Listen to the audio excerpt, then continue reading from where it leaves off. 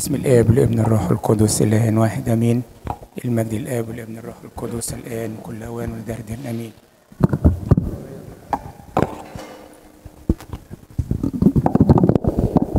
تحل علينا بركته ورحمته من الآن والأبد أمين. إنجيل النهاردة يا أحبابي بيتكلم لا تضطرب قلوبكم دي أول كلمة. لا تضطرب قلوبكم.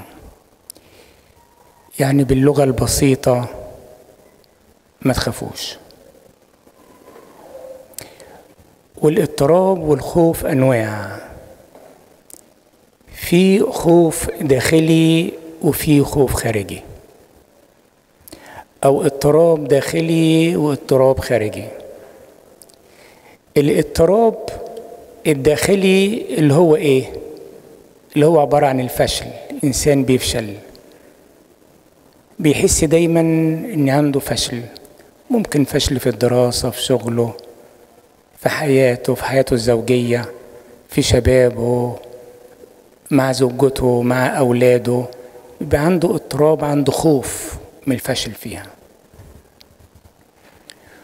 وفي خوف بيجي من الخطية. وخوف الخطية اضطراب الخطية هو خوف وحش. الخوف الإنسان أو الإنسانة تحس إن أنا هقع في الخطية. إنسان أو إنسانة الخطية متملكة مني.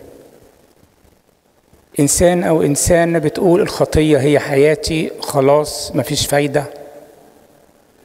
أنا حياتي كده كله بيعملها ما عملهاش ليه؟ وقبل كده إحنا قلنا إعلان إنسان الخطية قد أعلن. ما أسهل الخطية. ما أسهلها دلوقتي وبندي عليها تبررات وبندي عليها أعذار ونجيبوا كمان آيات عليها لو إحنا حبينا يعني. ده الإضطراب اللي بيجي من جوه الإنسان. في إضطراب بيجي من الفكر وربنا يرحمنا منه. الإنسان يقعد يفكر من أجل غيره حاجات دايما وحشة. دايما negative دايما negative كل حاجة negative كل الناس negative ما بيشوفش أي حاجة حلوة في أي إنسان أو أي إنسانة. ده اسمه الاضطراب الداخلي أو الخوف الداخلي. الخارجي الناس بيقولوا عليا إيه؟ أنا خايف الناس يقولوا عليا إيه؟ الناس شافوني فين؟ الناس عارفوا إن أنا بعمل إيه من غير ما حد بيعرف؟ اللي أنا بدسه اللي أنا بنخبيه. هل الناس عارفاه ولا مش عارفاه؟ ده هو الخوف. الخوف نظرة الناس ليا أو اضطراب يعني الإنسان ليا إن أنا لابس إيه منظري إزاي شعر إزاي لبس إزاي عربيتي إيه بيتي في إيه شهاداتي إيه متجوز مين. ده اللي بنخافه منه. نظرة الناس. نظرة الناس إلينا. في اضطراب أبدي أو خوف أبدي اسمه الموت. اسم الموت. مين مش بيخاف من الموت؟ يرفع إيده. الانسان نذكر ربنا في واحدة بس اللي ما خافتش. رفعت ايديها الحمد لله. فالكنيسه كلها فيها واحدة بس ولا خايفه من من الموت ده حلو علينا بالنسبة لنا إحنا قوي مبروك عين النعمة. اتنين إيه ده أنت كترته ربنا يسترها علينا. الله الله الله يلا. الاضطراب أو الخوف من الموت هو إزاي هقف قدام ملك الملوك رب الأرباب ويكشف الأسفار ويشوف كل حاجة؟ عشان كده يقول لك إيه؟ في بيت أبي منازل كثيرة أنا هروح ونعدها لكم. ولما تخلص أنا هاجي أخدكم. لا تضطرب قلوبكم. ده وعد إلهي صادق إن لنا مكان في السماء. أبونا السماوي جاي ياخدنا. بيقول لنا أنتم مضطربين ليه؟ في مشاكل ليه عندكم؟ آمنوا بيه. في بيت أبي منازل كثيرة نذكرك نمجد اسمك. هيكون لنا بيت. بس البيت اللي هو عامله لنا فوق في السماء مش مجانا. Is nothing cool free isn't it? Nothing cool free in this world. مش مجانا. ربنا يسوع المسيح عطانا ودفع العربون بدل عنا. على شرط. كونوا قديسين كما أنا قدوس يقول الرب. طالب مننا القداسة. كونوا رحماء كما اباكم سماوي إيه؟ رحيم. حبوا أعداءكم. أحسنوا وصلوا للذين يسؤون إليكم. دي شروط سماوية عشان أدخل في بيت أبويا.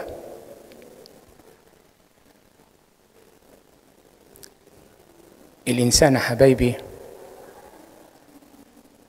أنا شبهته زمان بشنطة. شنطة صغيرة بتاخدها وإنت أول لما بتتولد.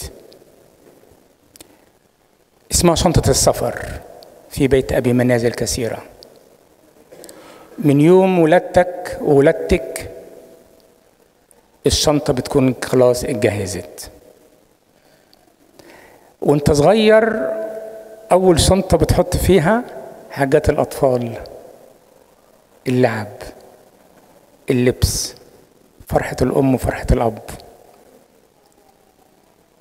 بيحلوها لك وبيجملوها لك بيشتروا لك عرس جديد لبس جديدة في المعمودية.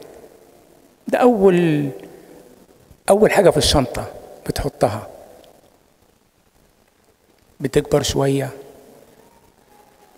بيديلك في الشنطة حياتك شهاداتك أفكارك اللي أنت عملته. بيتحط في الشنطة. شهاداتك وأعمالك.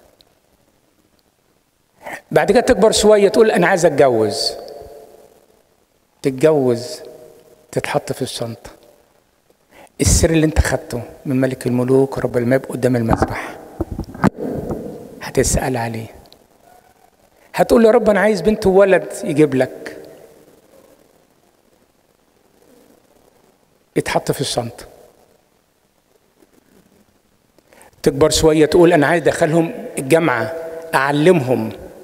تحط لك في الشنطة. تكبر شوية بشوية تقول أنا ظهري أنا جسمي أنا تعبان. تتحط لك في الشنطة. يقول لك كبرت. أولادك هتجوزوا.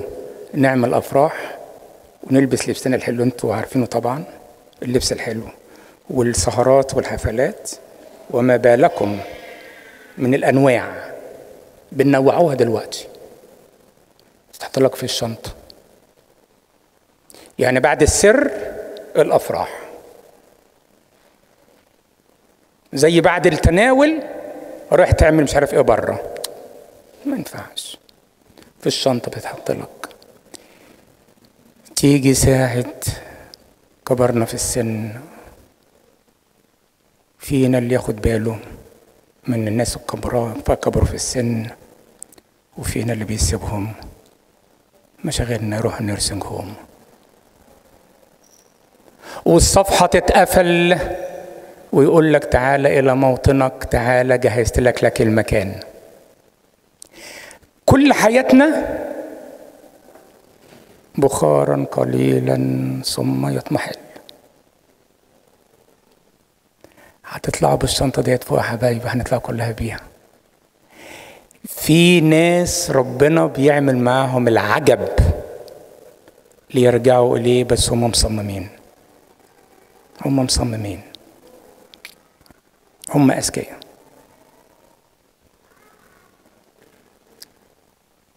فحياتنا على الأرض صغيرة.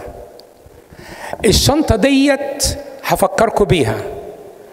أخدتوها في يوم من الأيام. طلبت من رب القوات ادينا أرض جديدة ومكان جديد نعيش فيه. أخدنا الشنطة وسيبنا كل شيء في وطننا. سيبنا كل سيبنا التلاجة والغسالة والشقة وال سيبنا كل ده صح ولا أنا غلطان؟ أخدت الشنطة نقول بقى ربنا أو أنت يعني حاجة تانية أنا ماليش دعوة. نقول مسألة يا ربنا وخلاص. اخدت الشنطة طلعت بيها الطيارة جينا في الوطن بتاعنا. ونفس الشنطة هتاخدها وتطلع بيها على السماء فإحنا غرباء ونزلاء في هذا العالم. فلما نشوف أهالينا واولادنا اللي في السودان اللي محدش سائل فيهم ماشيين بالشنط. السما بتفكرنا؟ إحنا ملناش وطن في هذا المكان. وطننا بتاع السما. لما نشوف أهالينا ماشيين ومش عارفين يركبوا إزاي ويروحوا فين ومين هيستقبلنا ومين هيضمنا ومين يأكلنا ويشربنا؟ اللي عنده عنده ولا سائل. ربنا بيقول هتسيبوا كل حاجة. عملت كل حاجة هسيبوا كل حاجة. والشنطة جاهزة. من مكان لمكان مكتوب علينا. ولاد ملك المجد. ملناش أرض. ملناش بيوت. ملناش عربيات. ملناش فلوس بتتاخد.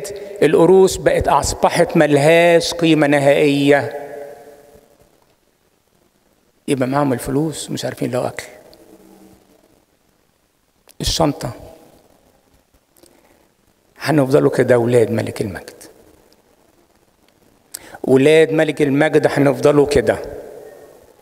ويلا بتدوروا على قصور وسكان في هذا العالم أفكركم بكلام رب المجد لستم أنتم من هذا العالم. سهل عليا أن أنا أقعد أتكلم. سهل علينا نطلع كلام قالوا وعملوا وسووا وخلوا ونعملوا أفلام ونعملوا مش عارف إيه. وكلنا بنونس بنونس بنونس بنونس. بس اللي شايل القرف واللي تعبان واللي مجروح اللي سابوا محدش عارف يشيلهم يمشوا من البلد. اللي ما همش قروش يطلعوا بيها.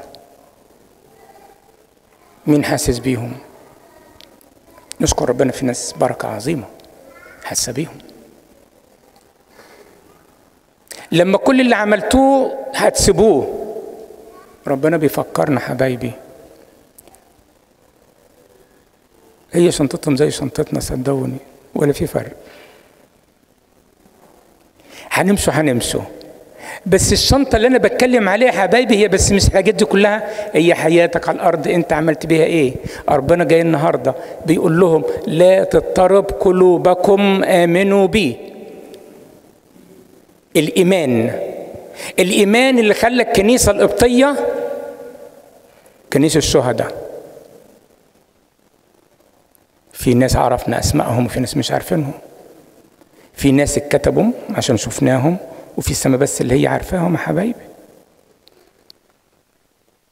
الكنيسة بتاعتنا كنيسة شهداء كنيسة غرباء ونزلاء. عشان كده دايما بقول ربنا الأيام دي طالب منا السجود. السجود يا حبايبي الصلاة نقدم توبة. من كثرة خطايانا وأثمنا حاجات بتحصل في العالم كتير. أهل نينوى المدينة العظيمة. ربنا سمع كان شر عظيم.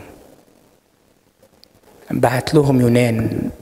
قال له روح كلم المدينة العظيمة. إن سراه قد صعد إلي. طب نعمل إيه يا رب؟ قال لهم توبوا. التوبة بتاعتنا كجسد المسيح. كلنا اللي في العالم كله جسد المسيح الوحيد التوبة بتاعتنا تغفر خطايا وترحم ترحم الناس ترحم الشعب.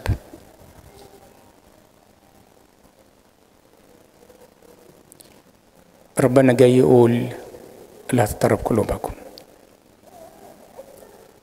بس النهارده أنا مش بسمعها عليا أنا. أنا بسمعها لهم هم. اللي ماشيين في الطريق لمدة كام يوم وكام ساعة. اللي لسه قاعدين على البوردة ومش عارفين يعملوا إيه. واللي سابوا أهاليهم واللي سابوا زوايهم وسابوا حاجاتهم. ربنا جاي يقول لا تضطرب قلوبكم. هينقذ هيخلص هيعمل. هو ده إلهنا. حتى لو حب ياخدنا هو عد معانا وعد لنا مكان جميل في السماء.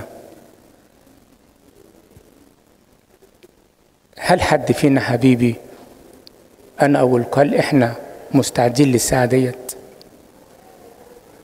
نسيبوا الأرض ديت. ناخد الشنطة بتاعتنا ونطلع بيها فوق. هل الشنطة فيها تكون فيها حاجات عدلة ولا حاجات كلها صعبة؟ هل الشنطة دي حبايبي هيكون فيها حب ليه؟ ولا زي تومة إنكار وعايز دليل عايز فلسفة. نطلب من إلهنا الصالح في هذا القداس إن يذكر كل بيت وكل أسرة في السودان.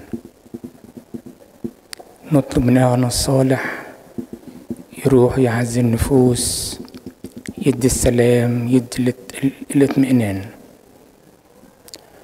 نطلب من إلهنا الصالح يحافظ على الكهنة الأساقفة الكنايس بتاعتنا.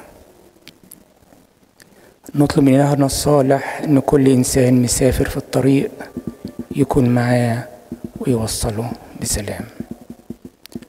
نطلب من إلهنا الصالح يعطينا حالة الانتظار في كل مكان وكل وقت.